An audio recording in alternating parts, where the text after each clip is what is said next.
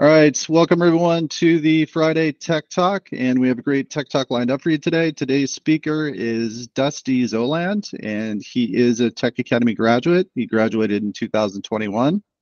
And today's talk is uh, called Continuous Learning, uh, keeping up your skill, keeping your skills relevant in a fast-paced, in the fast-paced tech industry.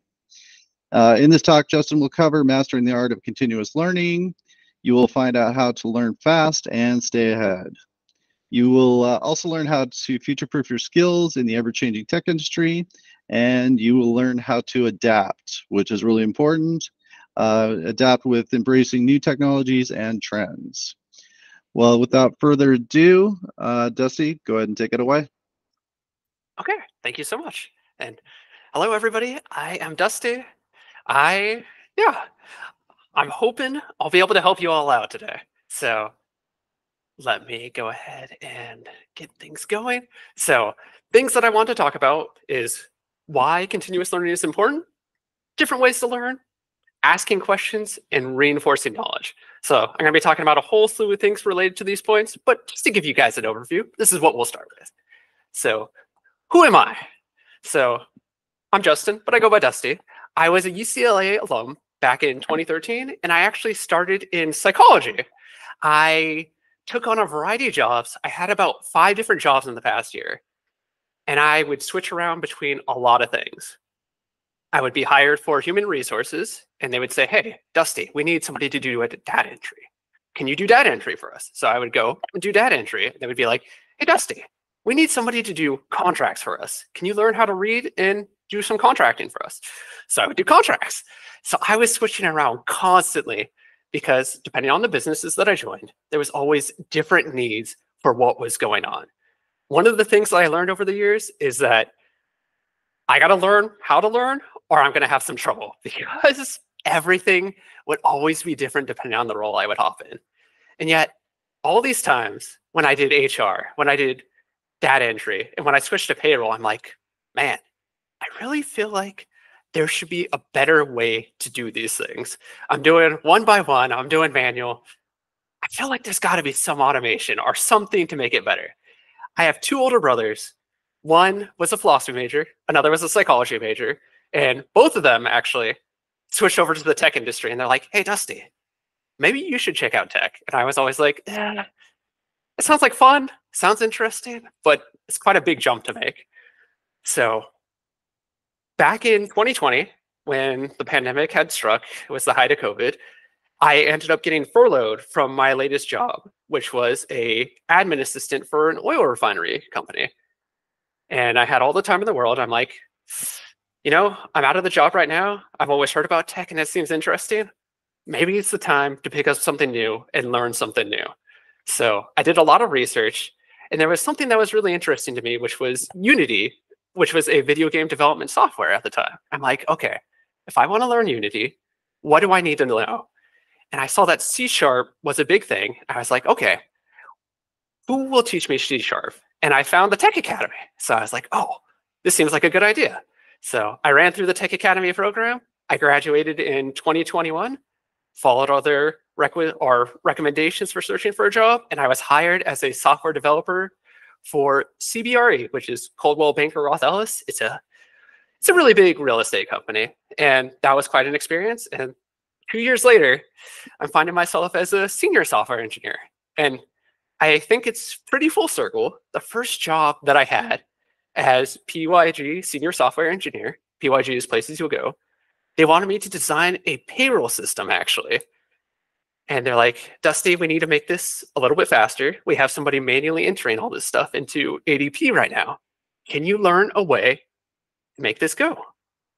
So I was like, okay. So I put the old knowledge and I learned all about the tech stuff. And I fused my tech knowledge with my previous payroll knowledge, put it together. And within a month or two, we had a new payroll system out and going. And it changed the process down from a week of entering to five minutes, which is crazy. Always blows my mind what you can do with tech. So I personally value continuous learning because it's something you always have to do on the job. There's always going to be new things. You always got to learn. So I'm going to hammer on that a little bit more. But if you, excuse me, Other things about me, I'm a huge nerd. You'll see in the picture that I am playing a board game. It's called Wingspan, if anybody knows it. I'm there with my wife and my mother-in-law. It's a very fun board game. If you haven't heard of it, I recommend giving it a go. It's a good stuff. And also, I like to tell a lot of stories. As you can probably tell, I like to talk about my past experiences with some stories. So I'll be going further on those as we talk about the points. So why is continuous learning important? I believe that learning the why versus the how makes it so that you can keep on growing and keep on learning. Knowing the how is important for how things get done, but the why will help you grow. Back at UCLA, I had a manager named Scott, and he told me a story about two different groups of software engineers that he had gone to college with. The first one, the first group was wicked smart. They would be able to look at something, pick it up, find out the how, and they learned the how for the latest and greatest technology. This other group was also very smart, but they were a bit slower. They tried to understand why things were done the way they were rather than just the how. Admittedly, the first group produced better results for the technology at the time. The second group still produced good results, but they were a little bit slower initially. What ended up happening was that as time changes, do tech changes as well. The first group had a harder time adapting to any new tech that would pop up, and as a result, their progress would slow. The second group, focusing on the why and understanding why things were done the way they were, they maintained that constant high pace. It wasn't as high as the specialists initially, but they were constantly doing well and they understood the why. And they were able to pick up things from a newer technology faster. And that hammers into the second point. Tech is constantly changing as we go out through the year. Things that were relevant five years ago, not as relevant. It just changes so quickly. And there's always, always new things to learn. Even at CBRE, when I started, we had a package management system called JFrog that was quite good, but it was a little bit of a pain to coordinate credentials with it for our company. When I moved over to PYG, I was like, there's got to be a better way to deal with these packages and grabbing them. And my brother had mentioned, hey, have you heard of GitHub Actions? It's kind of a new technology or a new thing. It's connected to Microsoft. It helps for package management, and you can do a whole bunch of things for CI/CD pipelines. And I was like, that sounds kind of interesting. So I did some research. I talked it out. I presented to my team, and we integrated it, and it was great. I was like, oh, shoot, it's good to learn and stay on top of this new technology. Got to do the research, find out something new that comes along, makes the process better. And then finally, every business you go to will have a different way of doing things. This this can be a point of frustration at sometimes because you'll go to a place and you'll be like, I don't think that's the best solution, but that doesn't matter a lot of systems are built on legacy systems and solutions. You have to work what with what you're given. So you'll find out that a lot of the times the small businesses have to do impromptu fixes. Stakeholders ask for something within a few weeks, they build something, and it's good at the time. It's not exactly a scalable solution. What will happen is the company grows, they have success.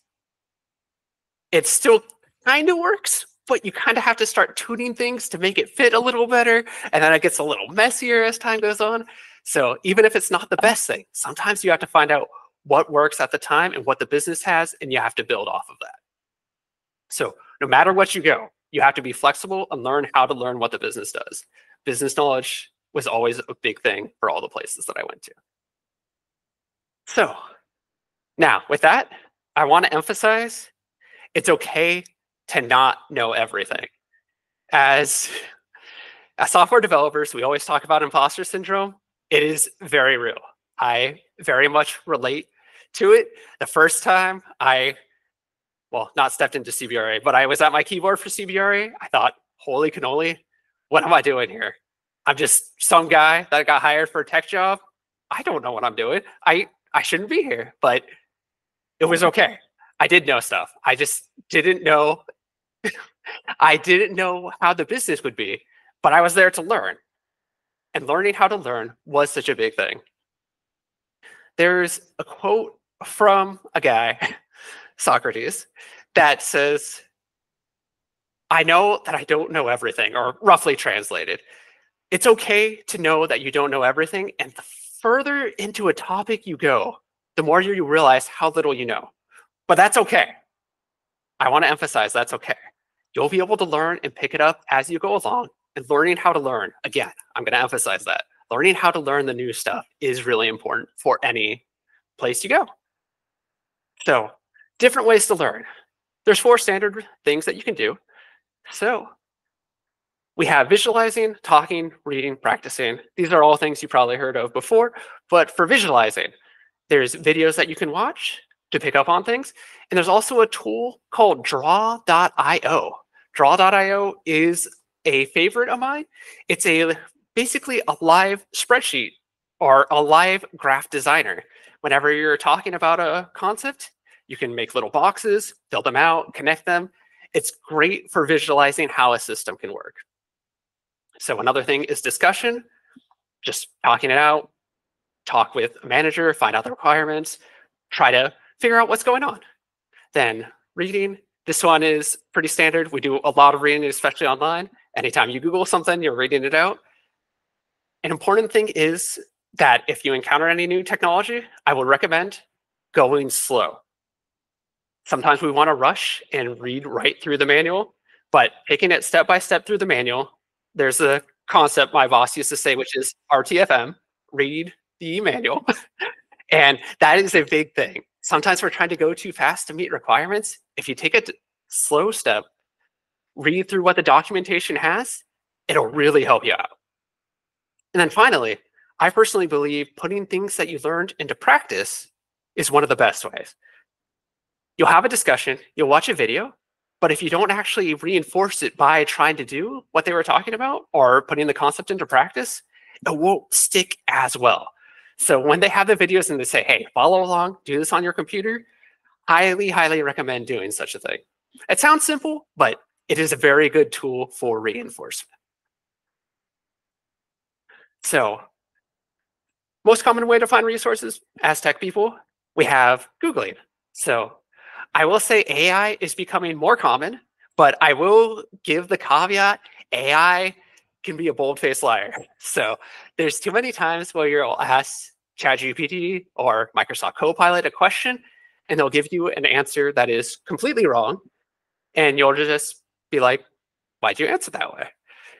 There's a little prompt that was had where somebody asked a AI to draw a picture of a cheeseburger without the cheese and they returned the AI returned a picture, and it was a cheeseburger with cheese. And the prompter was like, "Excuse me, I said I wanted a cheeseburger without cheese," and the AI said, "There's no cheese. That's just mustard." And it was such a silly little thing, but it was clearly cheese.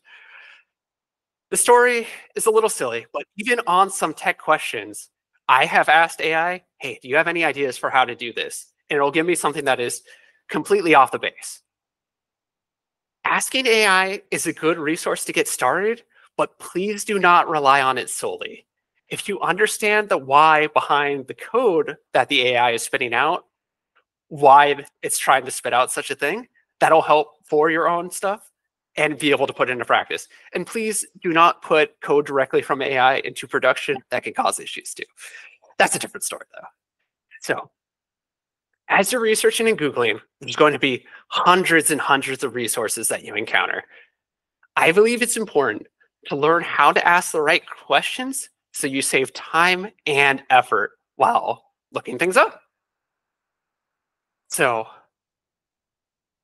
I believe software development is all about asking the right questions. I talked about saving time and effort, but one of the stories that comes to mind is that there's an old myth story about a knight of King Arthur called Percival. Percival was a dude that was chilling in the forest and he saw a procession of knights going by and he's like, yo, those knights look really cool. I want to become a knight. So he ended up becoming a knight. He trained under them and he set out for what all King Arthur knights do. He was looking for the Holy Grail. So there's the story of Percival where he's on a journey to go back home, see his mom, and he encounters a man fishing in a boat who was the Fisher King, who is related to the Holy Grail. And this king's like, let me take you back to my castle.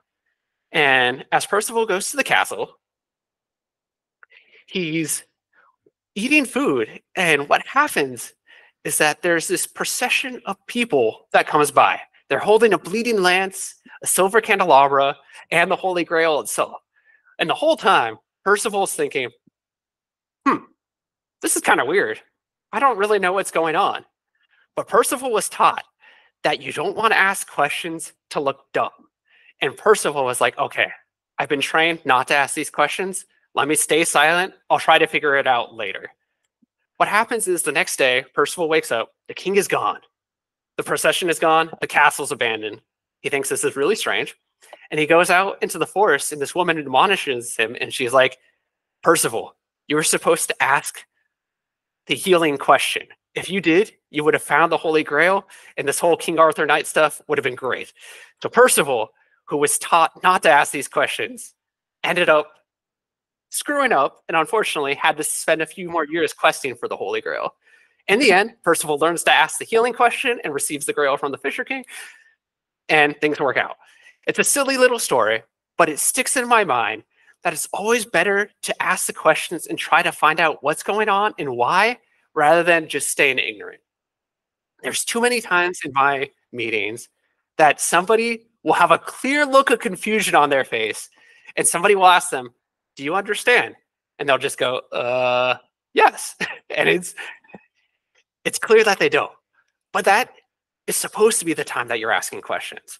There is a respectful way to do it, but please I will say asking the right questions to learn more is such an important part of growth and development. Do not be afraid to ask the questions and look dumb.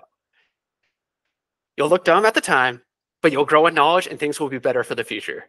Too many times I've done requirements gathering and I made an assumption require, regarding what a client wanted. And we had two different views.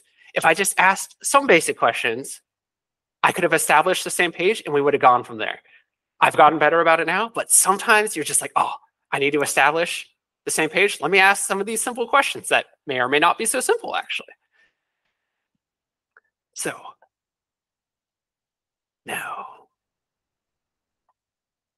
my preferred method for asking good questions. One of my favorite Stack Overflow posts had a four point suggestion for how to ask a good question you got to ask, what am I trying to do? So, what am I setting out to accomplish? What am I trying to code? The next it's kind of like the scientific method. You ask yourself, what have I done? You want to see what the results of what you've done. So, you'll ask, what did I expect? And what actually happened? So, if you're trying to debug something and you're trying to serialize a JSON and you take it in, but it's not spitting out the JSON for whatever reason. You expected a JSON, you got an error message instead. Let me read through the error message. Trying to work with a dictionary, it doesn't find a key. I expected the key to be found. Why isn't the key in there?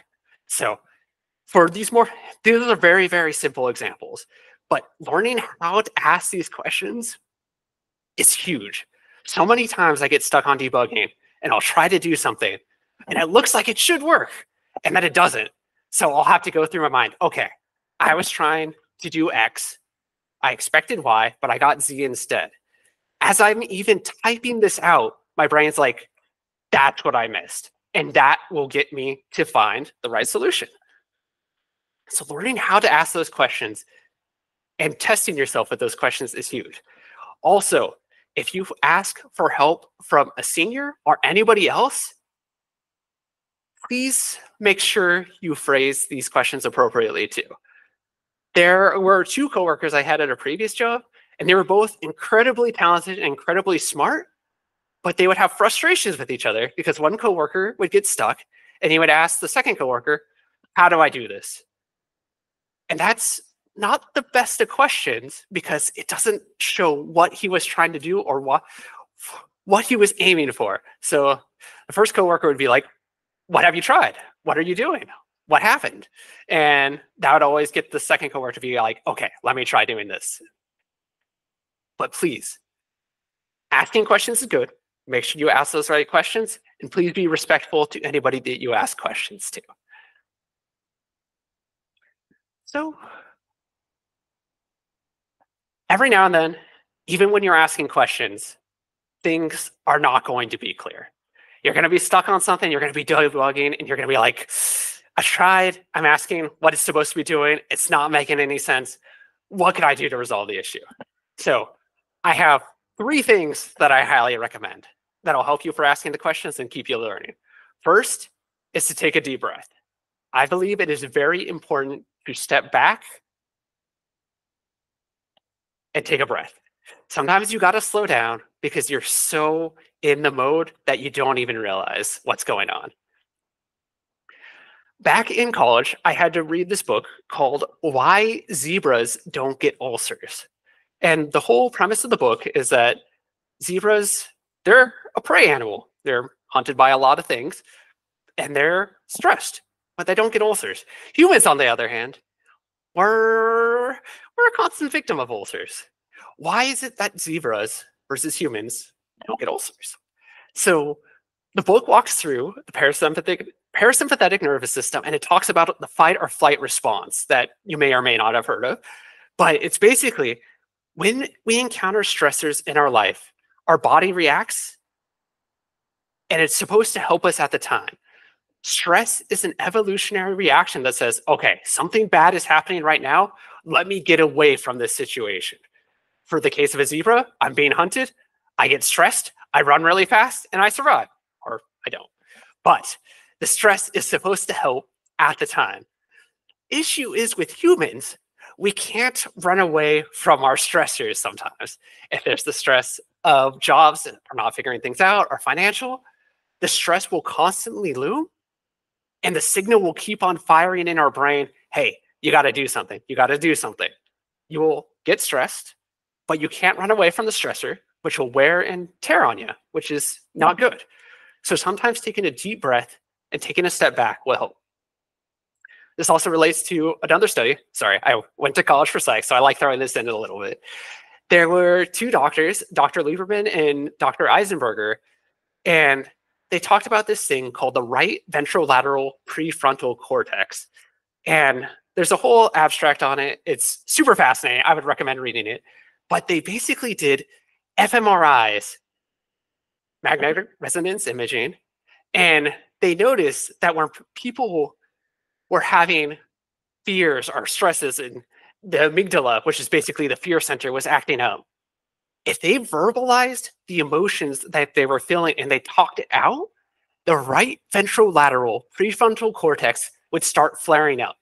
And they found an inverse correlation, aka when people talked out what they were feeling in their emotions and their stresses, the right ventral lateral prefrontal cortex would start firing more.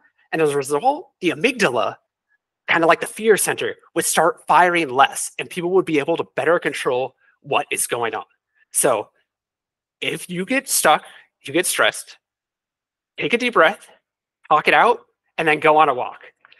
This is not relevant for everybody, but I'm a huge fan of walking. It's a good way to change up your environment and get different ideas going. If you stay in the same place too long, your ideas may stagnate a little bit. I strongly believe in environmental refreshing. You need to step away from your usual work spot to get more ideas going sometimes. The thing is, a lot of us are very based off of contextual clues. You may have heard of Pavlov's dogs with the bell ringing and then the dogs barking because they know the food's coming. Sometimes the same visuals can work on humans as well. If we're just sitting at our desk, we always associate desk with work. Sometimes you need to switch up your environment and get your brain processing a different way. So just taking a step back, either taking a walk or stepping away from your desk can do wonders when working on a problem. And then last but not least is the rubber duck method. Y'all may have heard of this before, but just talking about your problems to a rubber duck can do wonders. You don't have to have a rubber duck. Rubber duck. It could just be anybody. I tend to go on walks with my wife, and I'll be like, "Okay, I've encountered a problem at work. I'm tr- doing X. I expected Y, but I got Z." And just even talking it out with her, it'll flash in my brain. Oh, maybe I should do this. And that will usually give me another clue. So again, take a deep breath, step away from your desk, talk it out. It'll help make you unstuck. and it'll help you keep on learning. Now, other things.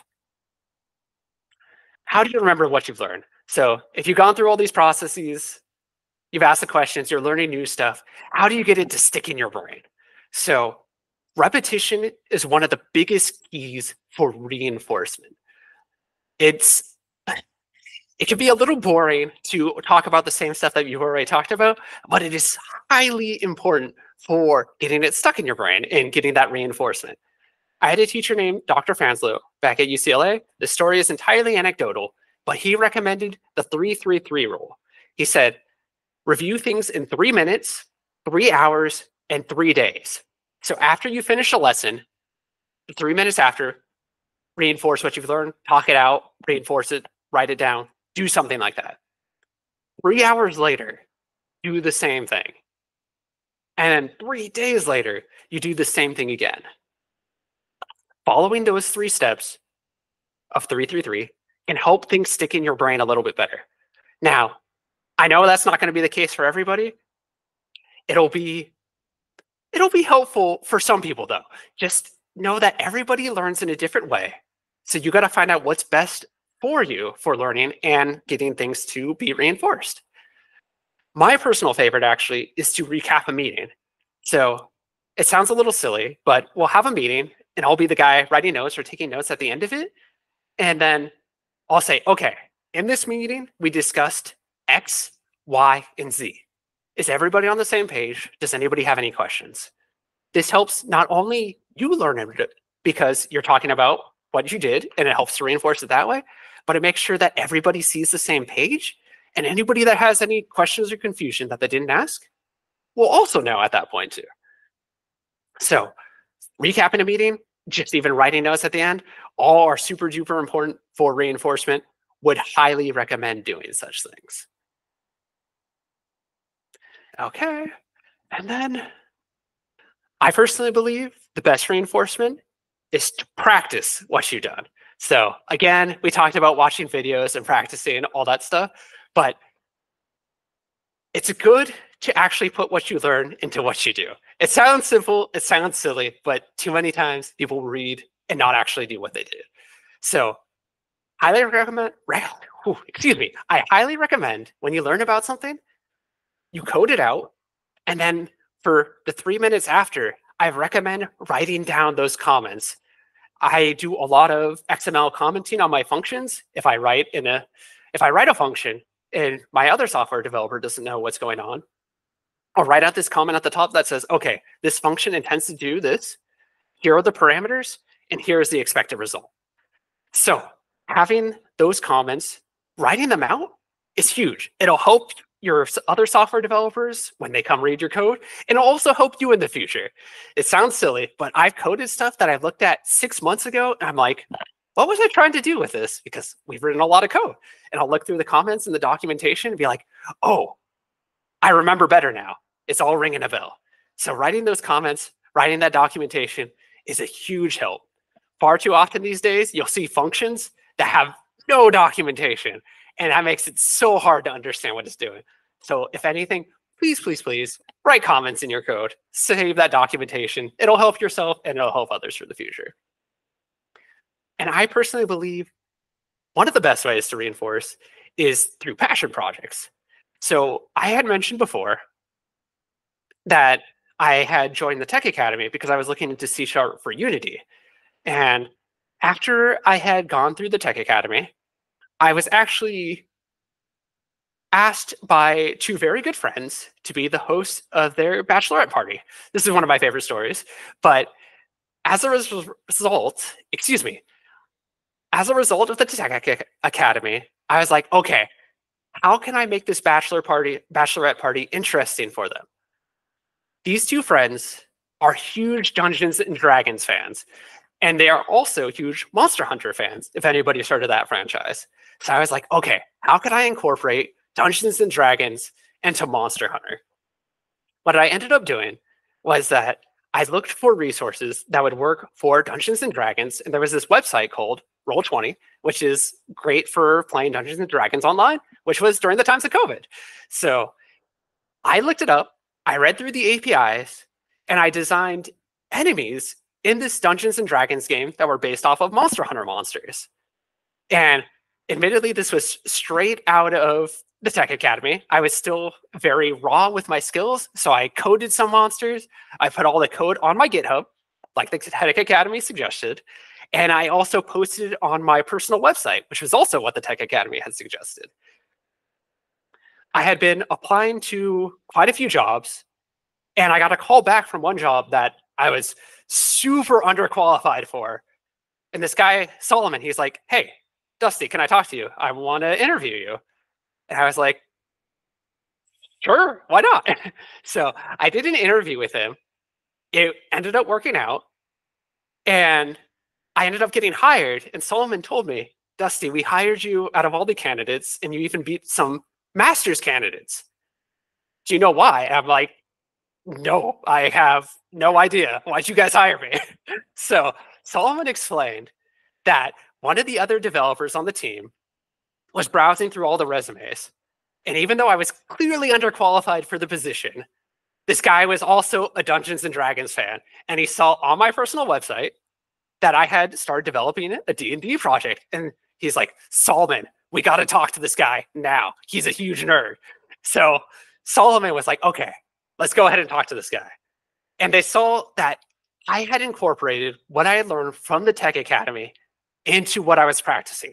That fusion of passion with tech and nerdiness helped to continuously grow my skills. Admittedly, when I look back at the project now, I'm like, oh, wow, I could have done a lot better on that. But it was enough to show that, hey, this guy is interested in still learning and he can pick up new things. And that's why we want to talk to him. So I am forever grateful that D&D actually was responsible for getting me, getting me my first tech job.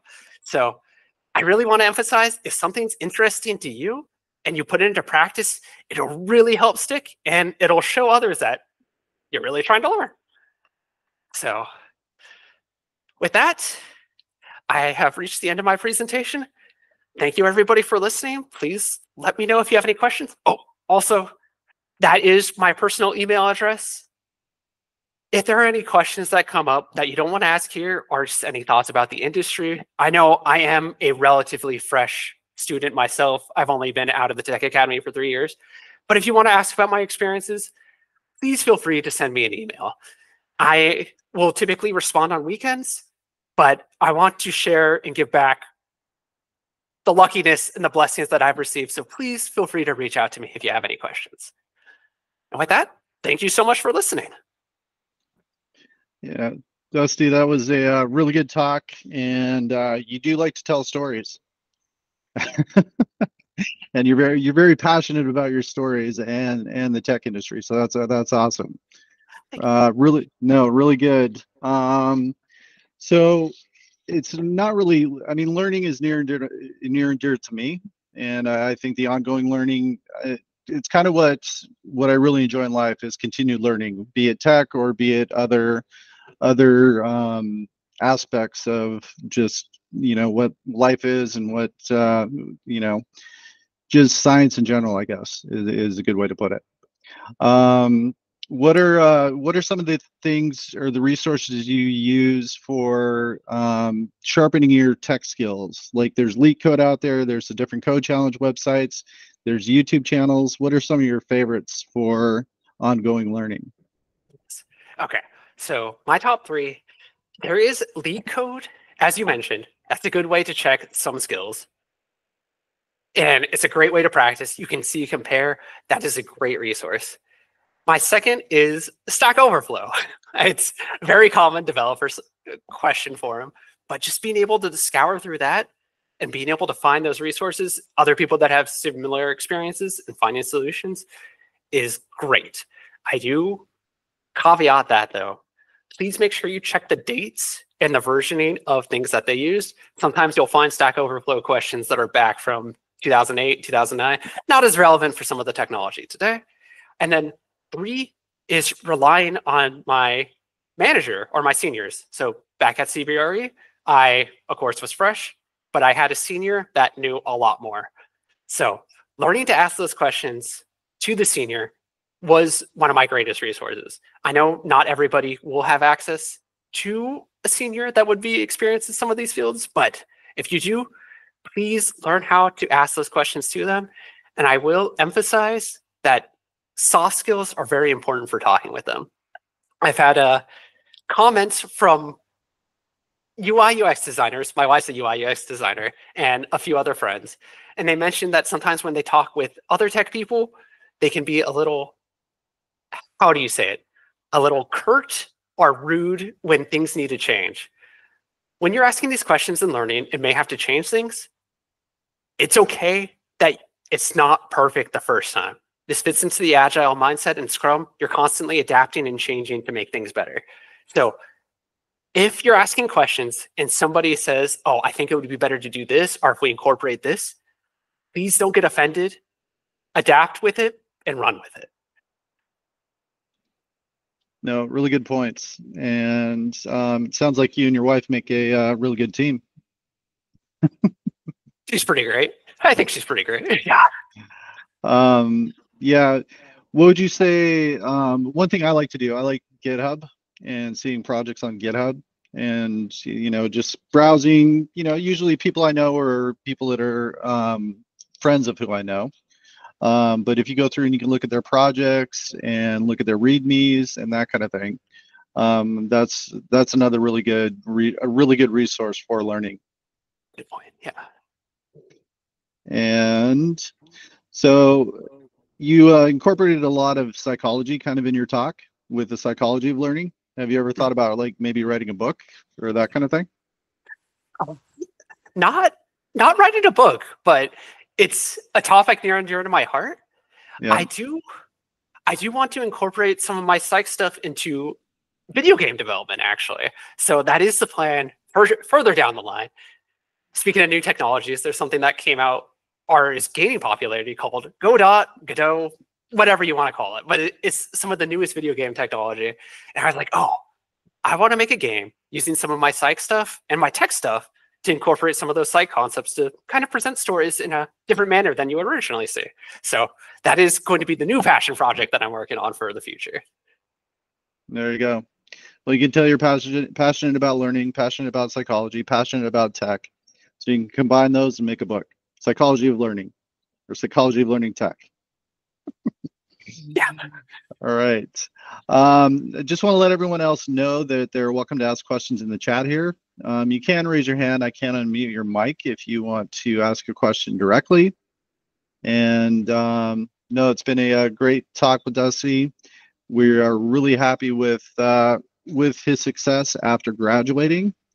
And you say you're new to the tech industry, but it sounds like you're already moving into a senior developer role, which is uh, which which is pretty quick for you know two or three years, which is great. Um, could you talk a little bit? Um, well, you you did kind of go over it about how you got hired um, with doing the Dungeon and Dragons, and um, you know, doing adding some development with that. And I, I, think that was a good point you made where you said that um, you made the projects, you were just doing it because you were interested, but then you know the the company that hired you and the people that were there saw what you did. Um, I think that really emphasizes that showcasing your portfolio um, yes. and is it really important. And you said you you know put the code up to GitHub um, that's really important. So ongoing projects, I think, are a really good learning um, tool um, after you graduate, uh, but they're also great for your portfolio. So it's really going to help you out with, you know, looking for the job that you want and, you know, helping you out throughout your career. So yeah. I think I think that that was a great point. Um, what did you do like right after graduation? What was what were some of the initial steps you took for uh, for looking for work? Okay, the initial steps.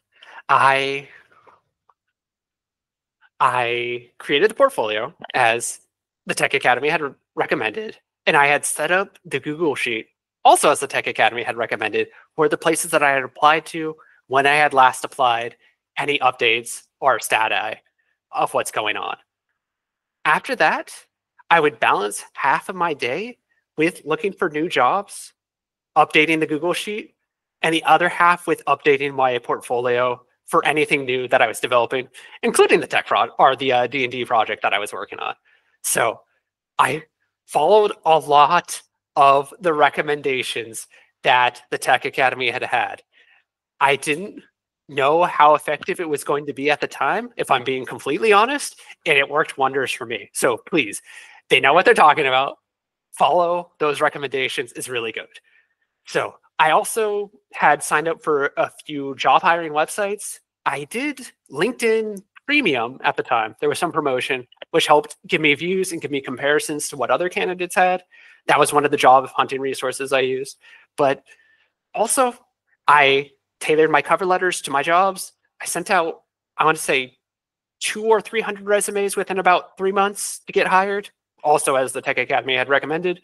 And then the biggest thing is applying to jobs that I didn't think I was qualified for because that's what got hired or that's what happened at CBRE. They always talk about that in the Tech Academy stuff. And I'm like, I feel like this would be a waste of time, but no, please follow them, do it. It works out well. So they know what they're talking about. Please follow their advice. We uh, we appreciate um, appreciate the uh, support with that, and we do uh, we do really care about the students, and we care about um, them finding their first job and what goes on after they do find that first job and throughout their career. Once you graduate the Tech Academy, you're always alumni, so it's uh, you always have our support. All right, and does anyone else have any questions? Now, uh, Kevin or Sheila or Joy, um, do you have anything that you want to add?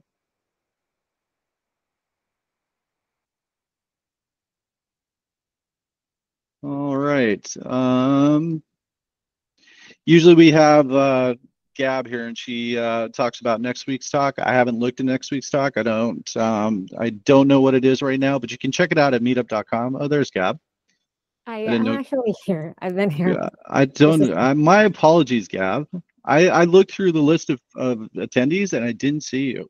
Oh, it's because it says outcomes division. That's why. yeah. I needed outcomes. My apologies, Gab. Gab, uh, take it away. All right. So thank you so much, Justin. I really learned a lot with uh from your text, and I do appreciate. I now have deep appreciation for my psycho- psychology professor because that's how I I was able to like oh wow which one's the amygdala again? It's like, oh okay something that somewhere at the back of your head right? Yeah. And okay so for the other tech talks we do have other tech talks booked for the entire month of october. So it's always at the same time friday 1 p.m pacific. So you, just watch out for the email reminders. And if you want to like book yourself book in advance it's also in our meetup group the same uh, meetup groups that you were able to reserve into this one on. And then we're also uh, promoting other programs in the tech academy. So we have the accelerator program if you're an alumni or a current graduate or a current student rather. Uh, you have access to uh, the accelerator program. It's a free three month subscription for all of our students and alumni. We talk about uh, different technologies uh, advanced uh, more advanced technologies than what you will learn in uh, in the boot camp and it's a great way to really like hone your skills and like review or review uh, some other skills that you may have forgotten. And then uh, another note is we're actually migrating our from uh, into a new discord server. So if you get a an email telling you that hey join this uh, new tech academy alumni discord server. As long as it's from us uh, you can trust it. And yeah and we also included in our alumni newsletter i believe. So yeah. Please join that server too. Yep. All right. Good stuff gab. Thank you. And uh, i want to thank everyone for coming out today. And uh, definitely want to thank dusty. Uh, that was a, that was a great talk. You are very passionate and very enthusiastic about technology and about uh, learning and it really came across. So we really appreciate that. We would love to have you back sometime. And uh, yeah, congratulations on uh, on your new job, your new career, and how life's going for you. It seems like uh, it's happy times for you. Yes, I, I'm, I'm a very, I'm a very lucky fellow. I am very thankful, and thank you so much for having me. It has been Yeah. an honor. Yeah, Dusty, really great to have you. And um, yeah, you have uh, have a great weekend, and we will talk to you soon. All right. Thank you. Bye, Thanks, everybody. Dusty. Thanks everyone for coming out, and do join us next next week, same time, same channel. Have a great weekend, all. Bye.